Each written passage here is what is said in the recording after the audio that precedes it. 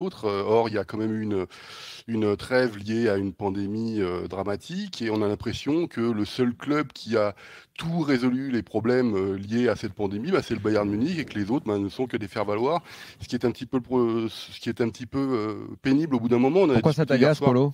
Ben, Ça m'agace, c'est oh, quelle est la raison qu'on me donne une raison qui n'est pas financière ou qu'ils ont les meilleurs joueurs pour euh, que le Bayern Munich écrase d'un seul coup les autres alors qu'on sort d'une pandémie et on ne connaît pas la forme des équipes.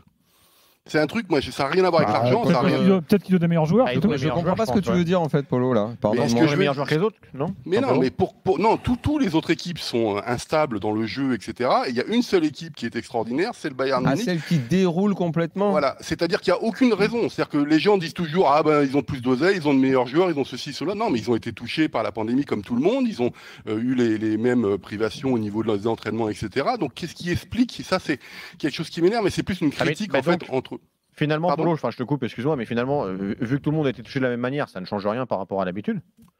Mais, le Bayern est toujours si, mais si, toutes les autres équipes ont des variations dans le jeu qui sont assez impressionnantes, etc. Sauf ah, le tu Bayern. Veux dire dans la constante du jeu, euh, le, le Bayern reste. reste euh, Ah, et ça, ça me, on en discutait hier soir dans la fleur avec Willy, justement. Je, je il dit quoi, Willy Parce que moi, j'ai pas écouté hier soir. Bah, Willy, il dit que euh, de toute façon, quand tu es au Bayern, tu te lèves le matin, tu penses compète, tu t'endors le soir, tu penses compète, et que tous les autres clubs ne sont pas comme ça.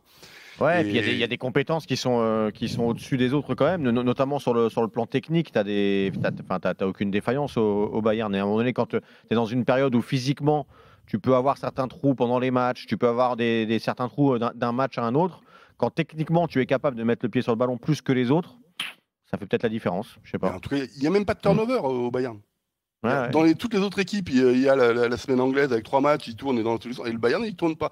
Et ils sont toujours largement au-dessus. Parce que ce qui m'énerve, si tu veux, c'est un peu le, match contre Dortmund, pareil. C'est, euh, il y a le, ah bah, Bayern est largement au-dessus. Le, match de samedi euh, contre Leverkusen, c'était pareil. Alors que Leverkusen, depuis trois mois, euh, il marchait sur l'eau et j'en faisais peut-être un, futur vainqueur de l'Europa League avant la pandémie, évidemment. Ah, c'est ça. En fait, tu es contrarié de t'être trompé. Mais non, c'est pas ça. C'est que, que, tu te dis, l'équipe, ils ont deux équipes, le, Bayern Leverkusen moi, j'aimerais bien que tous les coachs au monde aient l'effectif de Leverkusen euh, du, du moment. Enfin, c'est incompréhensible.